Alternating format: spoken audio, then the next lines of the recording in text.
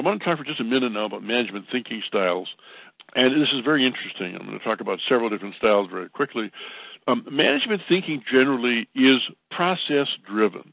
What you want to, the, the, what this slide says to you is that thinking at management levels, and they're trained to do this, is process oriented. And so what we're saying here is essentially that ideas and problems are divided up into chunks, pieces, the one, two, three, four, five thing you see there. And then then the experienced manager or leader moves those things around, combines them, and changes them, and to come up with solutions, answers, ideas, better questions. But it's a process they learn ever work for an engineer, you know exactly what I'm talking about, an engineering type. They carry a notebook with them, and while you're talking, while they're discussing things, they're writing down the chart of ideas and things like this in very structured fashion. The arrow going down is for time. They've learned that over time, they manipulate these components you see on the left-hand side to come up with solutions, answers, better ideas, and questions. Um, then, of course, um, you know, there's there's us.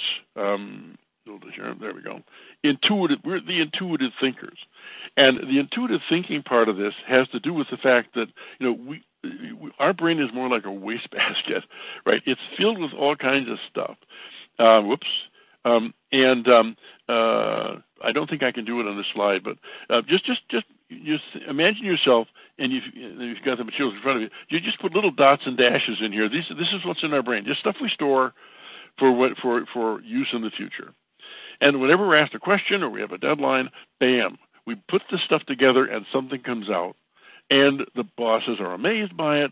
But again, the issue for them and for us is where did this come? What did this come from? I admire the guy; he's really he's really good at this. The girls, you know, the, the his advisor Mary is a pretty sharp person. I just don't understand how they do these things, and the reason they don't understand is because it's not process driven.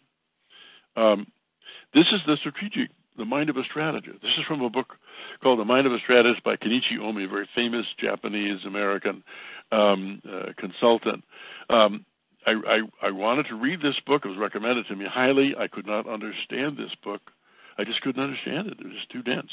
But on page 44, there was this chart, and it compares the uh, the kinds of minds we're talking about. On the left-hand side it shows the mechanical systems thinker or the process thinker. This is the management, and how, are the steps in how they make decisions. Okay, and you can see how structured it is from top to bottom. It doesn't really change much. It's you know, it's just like moving the deck chairs a little bit, you might say. In the center is the intuitive thinker. That's us.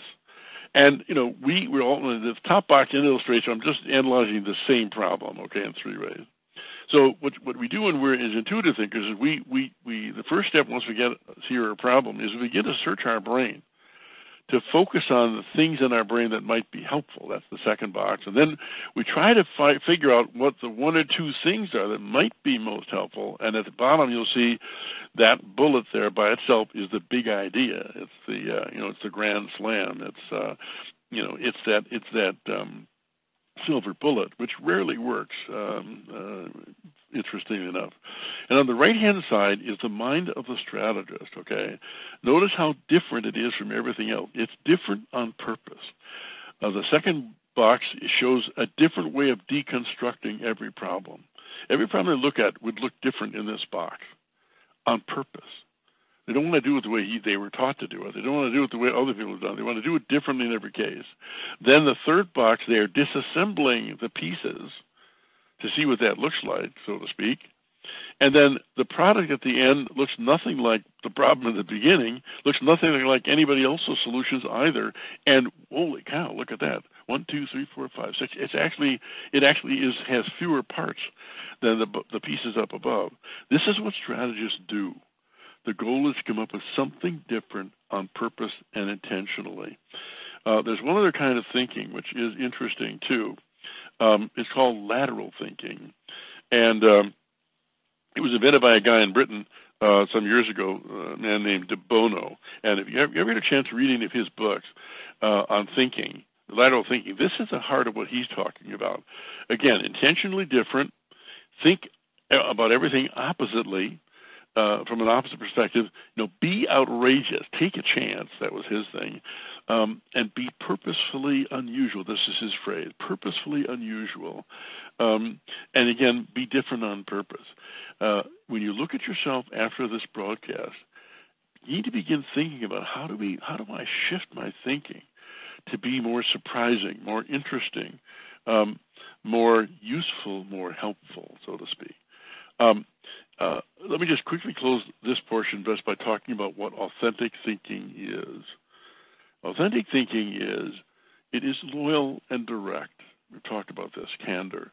It's positive and candid. It's insightful and constructive. That means we're always talking in positive terms. We're always advising in constructive ways. It's story based with self evident truth. This is what stories deliver. They deliver truths and understanding. And most of all, whatever we, we, we propose, it's doable, it's achievable, it's gettable, it's knowable. This is what bosses really want to hear. So, uh, John, or uh, uh, perhaps with that, we should stop for a moment and ask for questions or ideas.